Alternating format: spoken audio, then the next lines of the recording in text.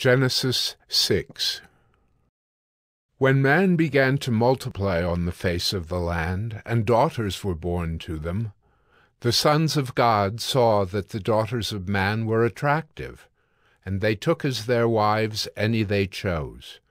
Then the Lord said, My spirit shall not abide in man forever, for he is flesh.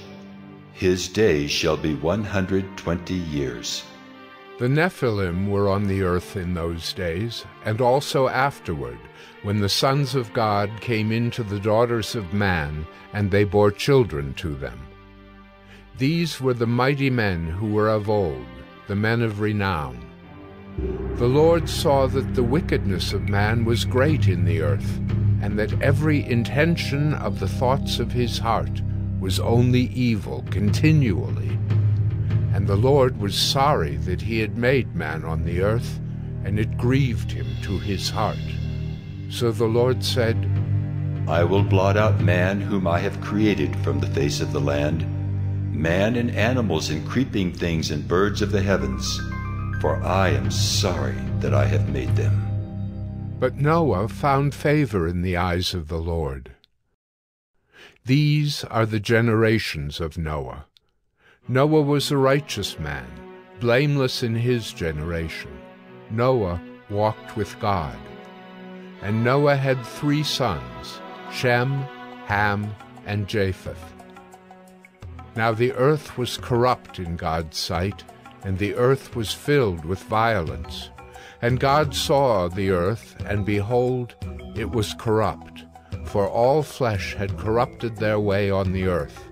And God said to Noah, I have determined to make an end of all flesh, for the earth is filled with violence through them. Behold, I will destroy them with the earth. Make yourself an ark of gopher wood. Make rooms in the ark, and cover it inside and out with pitch. This is how you are to make it. The length of the ark, 300 cubits. Its breadth, 50 cubits. And its height, 30 cubits. Make a roof of the ark, and finish it to a cubit above, and set the door of the ark in its side. Make it with lower, second, and third decks. For behold, I will bring a flood of waters upon the earth, to destroy all flesh in which is the breath of life under heaven. Everything that is on the earth shall die. But I will establish my covenant with you, and you shall come into the ark you, your sons, your wife, and your sons' wives with you. And of every living thing of all flesh, you shall bring two of every sort into the ark to keep them alive with you. They shall be male and female, of the birds according to their kinds, and of the animals according to their kinds, of every creeping thing of the ground according to its kind. Two of every sort shall come in to you to keep them alive. Also take with you every sort of food that is eaten, and store it up. It shall serve as food for you and for them.